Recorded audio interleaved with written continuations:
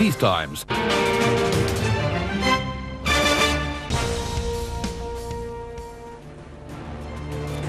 Hello and welcome to India's EV mission. In a bid to increase India's electric vehicle adoption, the central government has extended the FAME or faster adoption and manufacturing of electric vehicle scheme by two years. Along with that, at least 18 states have their own electric vehicle policies. Let's look at things on the ground.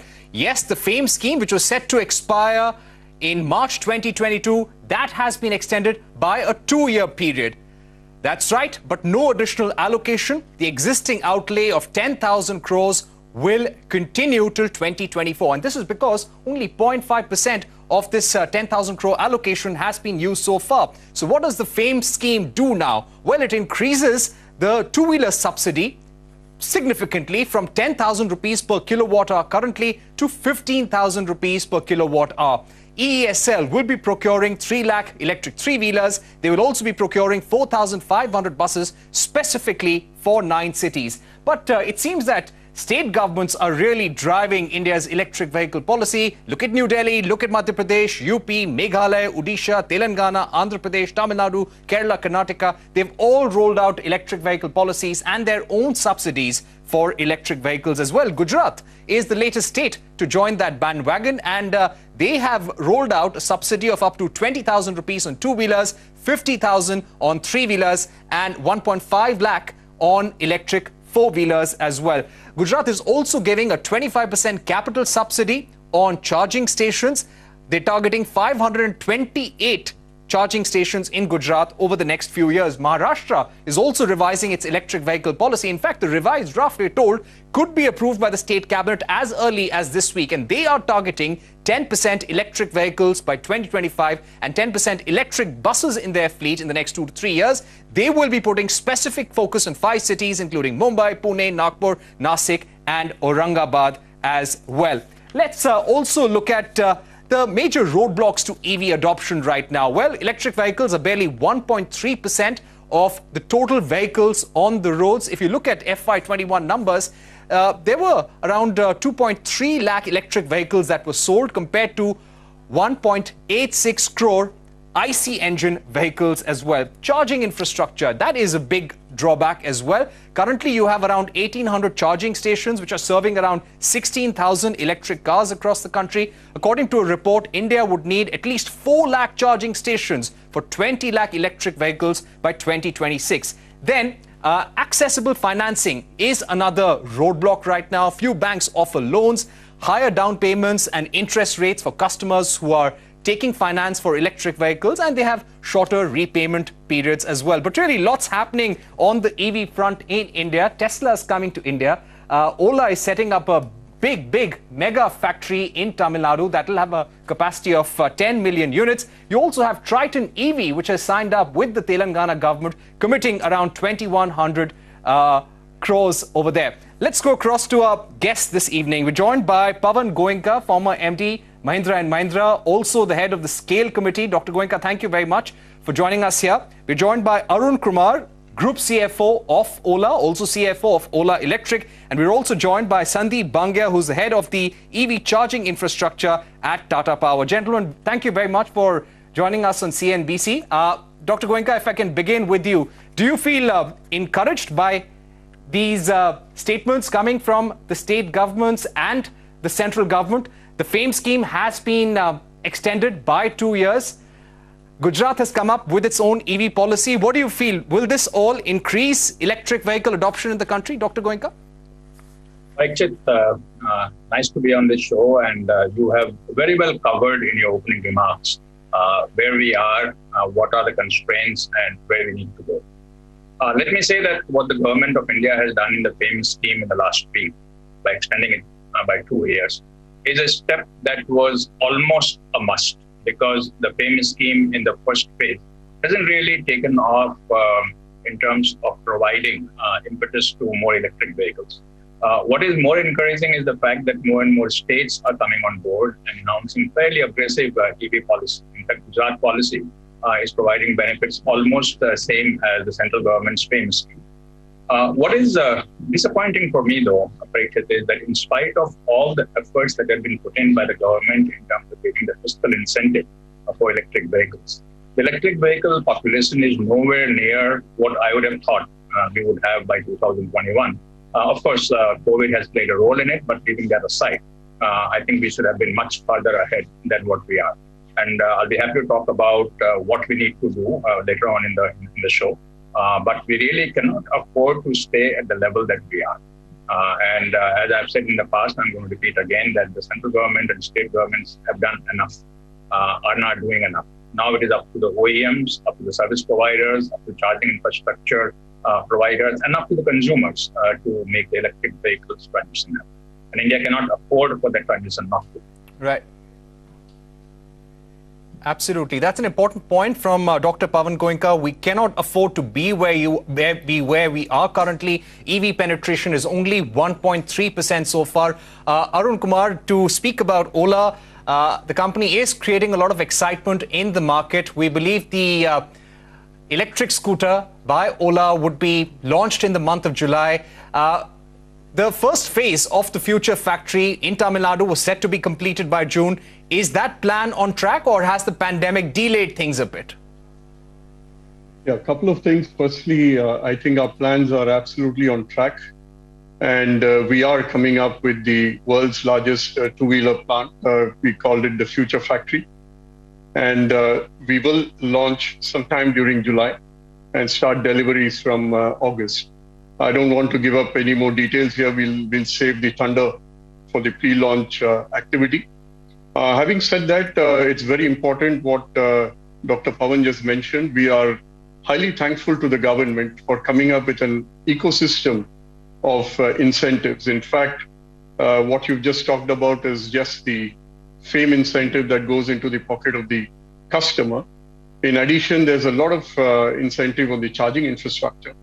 And not to forget, uh, there are two other uh, incentives as well which the government has rolled out. One is the PLI scheme on exports of electric vehicles, which sort of fits into the Ola strategy of being a global hub. This 10 million mm.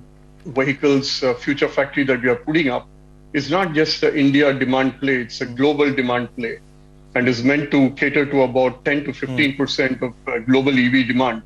Which, as you rightly mentioned, about 80 million vehicles mm. are sold globally and less than 1.5% is really electric. And even if you add hybrid, it's uh, less than 10% now, and that's expected to go up to 50% by 2030. So that's PLI in auto, which is encouraging. And the last thing I want to uh, point I want to make is that uh, the government is also mm. combining, uh, I would say, a heady concoction and a very positive for our economy of uh, technology and mobility, which is why it's come up with uh, another PLI scheme for advanced cell chemistry. Because as you know, the core or the heart of an electric vehicle is about the battery, and inside the battery is the cell. And India produces none of that. It's uh, right. produced globally by a handful of people.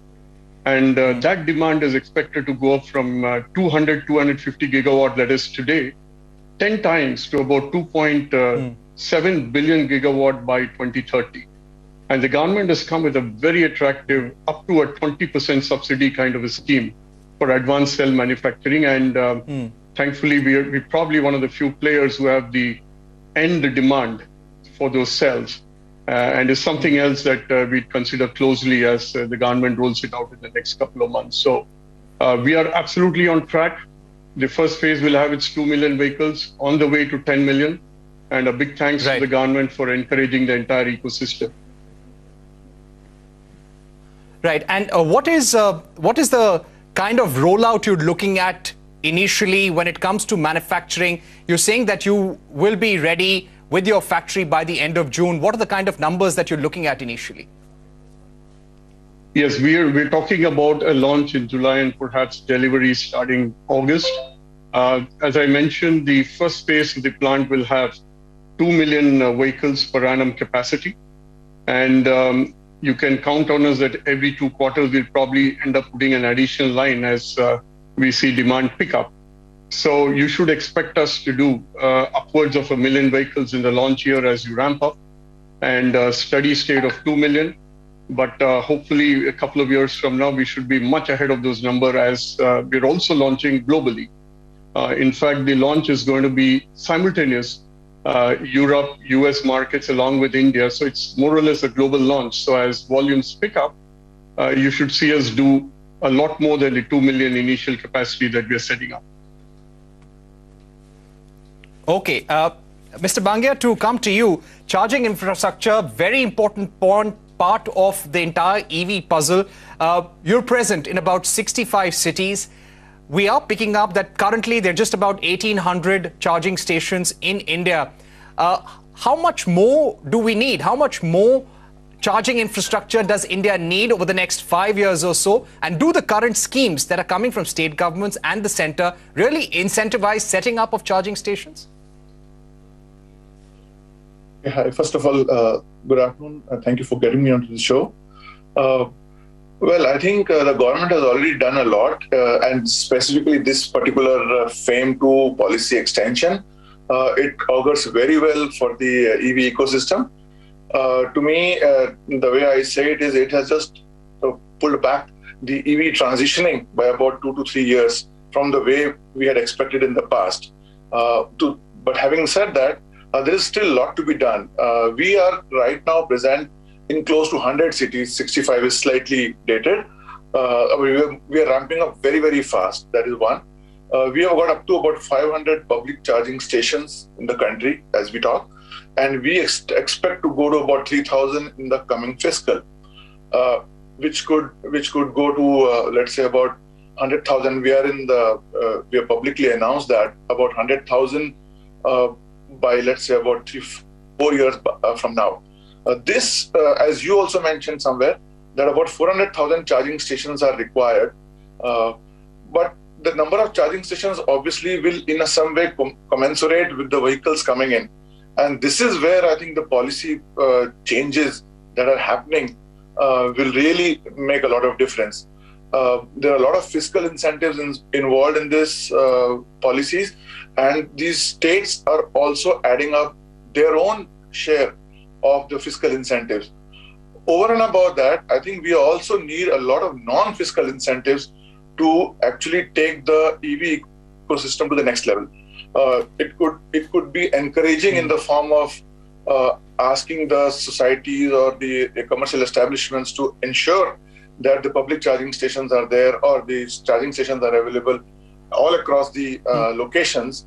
And those are the kind of things that are required, mm. apart from the other usual non non uh, fiscal incentives like uh, making it easy to uh, uh, to deal with, uh, let's say, the authorities, making it easy for making it easy for the users for um, let's say free parking or free toll and those kind of things which are very non-fiscal but very very I would say symbolic sometimes in nature but it gives the right message to the customer. Mm. The policy intent is there, mm. the execution, some work to be done, mm. but the non fiscal incentives are something which are really, really desirable. And then we are right up there. Right. Okay, uh, can you give us once again your, your timeline for setting up 100,000 charging stations? About 2024, we are, we are in the public domain by uh, saying that uh, of all denominations put together, mm. uh, public charging, captive charging, mm. buses, and all of those. Uh, we, are, we, are, we are, I mean, we had announced it in the previous uh, uh, meet as well. So that's broadly what we are planning to. But okay. this number could be lesser, or be more dependent on depending on how things move. Uh, if we are if we are able to get to a right. much better migration of electric vehicle, then Tata Power is committed to really transitioning, mm. making this commitment to a much higher number as well. Okay. Uh, Dr. Goenka, if I can ask you this question, what is the current cost of owning an electric vehicle? Uh, do you think it's now becoming attractive for a customer to, to, uh, to own an electric scooter or an electric car? Right now, uh, the central government does not subsidize private mobility when it comes to cars, but you are getting uh, subsidies from different state governments. Uh, do you think it's now becoming attractive to own an electric vehicle? It's cheaper now, it's getting cheaper? So before I answer that question, let me uh, first uh, compliment Tata Power uh, for taking the lead in setting up the charging infrastructure. As we have talked about many times, that uh, about the only thing that is missing uh, in, in sort of ramping up electric vehicles is good charging infrastructure. and Tata, Tata Powers have done quite a bit. Uh, India hasn't yet defined clearly the charging protocol. And I think it's important that define charging protocol. Otherwise, we'll end up with uh, too many different uh, charging protocols coming into the vehicles. Similarly, I'm very encouraged with Ola's move uh, for a mega gigafactory for two wheelers. I think only way to crack the the cost, the pricing uh, equation is to have a very large scale plant, and that's what Ola is doing. And if Ola succeeds in what they have uh, just said, and I have I see no reason why they will not, I think it will be a, a game changer mm. uh, for at least two wheelers uh, in terms of how two wheelers will become very affordable and therefore uh, take off uh, fairly quickly mm. in getting penetration of electric vehicles. Mm. Now, coming to your specific questions, question, see, it depends on who you talk to and which segment you're talking about. let me take the easiest one first, which is three wheeler. Uh, in three-wheeler segment, even without the state government incentive like what Gujarat has announced, uh, owning and operating electric three-wheeler mm. is lower cost per kilometer uh, than owning and operating uh, any other mm. IC engine three-wheeler. Uh, and frankly, I see no reason hmm. today mm. why three-wheeler penetration should not be much higher than what it is today. Even charging is not an issue there. Hmm. getting 100 kilometer plus hmm. range is what the three-wheelers are providing, and that is sufficient for an operator to operate for a day. Uh, so therefore, uh, my, my first mm. thing would be uh, to more or less convert the whole fleet of three-wheelers into, into electric. Now, coming to cars, uh, okay. there's been some attempt to uh, to do car electric cars in shared mobility. Uh, not very successful because of cost reason and because of range. Uh, I think the costs are coming down, but they have not quite reached the level where mm. commercially it's justifiable for uh, the, the, the aggregators, the fleet operators to operate electric vehicles. I believe that the sweet spot is to have a vehicle sub 10 lakh, closer to 9 lakh, uh, giving a range uh, higher than 200 mm. kilometers, closer to 250 kilometers. So if you can get that 10 lakh 250 kilometer range, then I think that will be the takeoff point for uh, mm. for at least shared mobility and fleet operations of electric vehicles.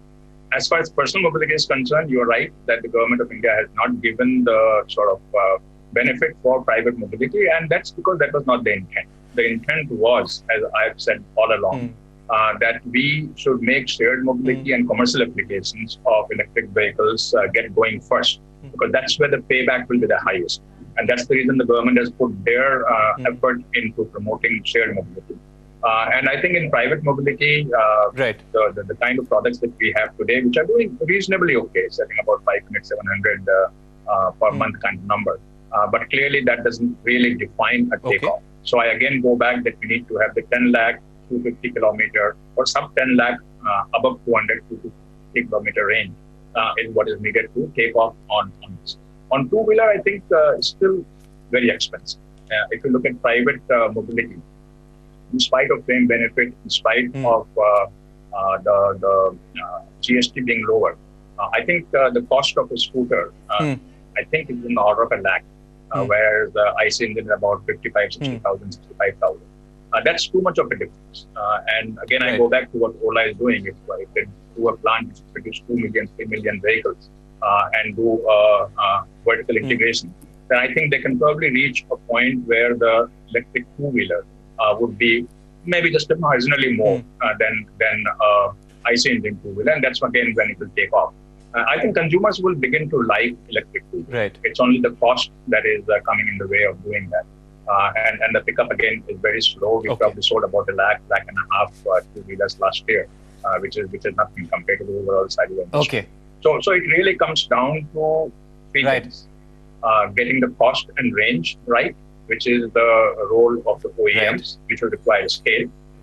Getting the charging mm-hmm. infrastructure spread out, which is the role of uh, mm. people like Tata Power, mm. and uh, getting the vehicles mm. on the road, which is in effect role of uh, people like Ola, uh, who need to do more and more of electric vehicles, right. not just two wheeler, but three and four wheelers also in their fleet. And once we start seeing okay. in the fleet, then I think vehicles will take off. So a uh, little bit of a longer answer to your, question, but uh, but again, I'm saying that everything that has to be done now has to be done by the OEMs by the uh, aggregators, fleet operators, uh, service providers, and by the charging infrastructure okay. Uh, companies that are setting up charging infrastructure. All right, so a lot has to be now done by OEMs and service providers. Arun Kumar, coming to you once again. Uh, Dr. Goenka raised a very important point that an EV scooter still needs to be more exp- more cheaper. Uh, it has to be around 65,000. Currently, it's around 1 lakh. After all the revised FAME incentives and the state government subsidies, you are going to be building on scale. You're looking at uh, manufacturing 10 10 million electric vehicles per year by the end of 2022. So, can we anticipate uh, a more competitive pricing by Ola Electric. If an average electric scooter in the market today is for about 1 lakh, 1 lakh 10,000, would your scooter be in the same range or cheaper? Yeah, thanks uh, for that, uh, Parikshit. I think you should expect uh, very competitive pricing from Ola. Uh, but having said that, I obviously not in a position to reveal the exact pricing. And we will have a slew of models which should cater to the various strata of the uh, consumer buy. Now, having said that, uh, two very important things. One, it's very important to educate the customer on the cost of the vehicle from a complete ownership perspective over its life. As I say, cost of life ownership. And uh, studies say that a typical hmm. ICE costs about 2,600 to $2,700 for a five year life. And uh, we will educate the customers, and you'd see the quality of a product coming out that uh, over the life of the vehicle, over five years, it's going to cost the customer less than $2,000. So that's really the key about uh, an electric vehicle. It's not just about the day one pricing, mm. it's about the cost of mm. maintaining that vehicle over a five year period. The second thing that we are doing, and, and right. maybe uh, it could be the second reason to sort of earn a compliment from Dr. Pawan, is that we are also investing in a charging network. About uh, if you look at February 2021 release, um, our our, co- our founder Mr. Bhavish had come public that uh, we have committed two mm. billion dollars investment to set up 100,000 charging points across this country in the next four to five years, mm. which will make it the densest network mm. in the world. So the anxiety is something that will go away. And the third thing, uh, again, not to hmm. get um, focused on price alone is is a function of uh, functionality that comes with price. Uh, is that our range, mm. the product will be superior enough to offer mm. the range to the customer, including not compromising on acceleration, pickup, and several other digital features. That's going to wow the customer. That uh, uh, the adoption will be faster mm. simply because the range is going to be higher. Uh, and that's also made possible because uh, okay, we've done a lot of first principles thinking and we have localized a lot of technology right. and uh, proprietary technology that Ola has brought in in its future factory. Right. So, Arun, very quickly, very briefly, can can I assume that when you're saying that you'll be a competitive price, it will be the cheapest EV in the market and higher range than other electric vehicles, other electric two-wheelers? Is that what you're? As I said, um, as I said, we will come out with a bouquet of offerings to suit the various uh, price okay. points, and uh, it will be connected with the right. kind of frills or the capabilities of the bike, including the power. And uh, we certainly will be quite competitive, okay. and that's what the Future Factory is uh, meant for. All right, I'm going to take some quick questions now. We're coming to the end of our show with uh, uh, Mr. Bangia and Dr. Pawan Goenka. Mr. Bangia, just to come to you on the charging point again, battery swapping versus conventional charging infrastructure. Do you, do you, would you like the government to come up with a long-term roadmap on how many EVs would it like to see on the roads by 2025 uh, or by 2030, a mandated roadmap on charging infrastructure as well, and clarity on how many battery swapping stations there should be, how many conventional charging stations there should be? Well, I think uh, uh, government's role is to facilitate the facilitate the things and make it easy for the uh, private entrepreneurs or the public organizations or large institutions like ours to make it work for uh, for the ecosystem. And this is why I, this is where I always say uh, that you know the charging infrastructure largely is is, is comprising of three C's. Three C's: uh, the consistency. In fact, uh, Dr. Pawan Goenka referred to this one: the consistency of the connector, the consistency in the policies so while uh, all state policies, 18 state policies have been announced, there is a fair amount of difference between states' policies, policy number A and policy number B. But having said that, all of them are fantastic. Mm. But there could be a good amount of consistency. Uh, this is this is the consistency part of it. Collaboration is very very critical. Uh, we people like us, charge point operators, have to collaborate with OEMs, the manufacturers uh, like Ola, like um, Mahindra and Mahindra, like Tata Motors, Mm. like all the other. So to to understand and exchange information, and we have got some of those tie-ups in place, where we feed a lot of information back to the Right. OEMs, and OEMs feed a lot of information to us. So this is a collaboration bit, and collaboration does not end with OEMs and government, and it, it, it has to go to the state. Uh, it has to go to the you know city authorities. It has to go to the uh, you know uh, private private uh, enterprises, and then finally the customer experience. So Right. These are the three things that really comprise the charging infrastructure. I really don't think that uh, the government needs to mandate that you need X amount of chargers in this city and all of that. It, it's something Okay. that the ecosystem builds uh, for itself. The charging plus the OEM, Right. that's the way they work. All right. Okay, we've completely run out of time, but uh, Dr. Goenka, thank you very much for joining us here on CNBC TV 18. Uh, Sandeep Bangia, GR Arun Kumar, it was a pleasure having all of you here, giving us a sense of how India's EV story is going to proceed over the next five to 10 years. Lots of excitement on the electric vehicle space in India. Keep watching CNBC TV 18 for more news and updates.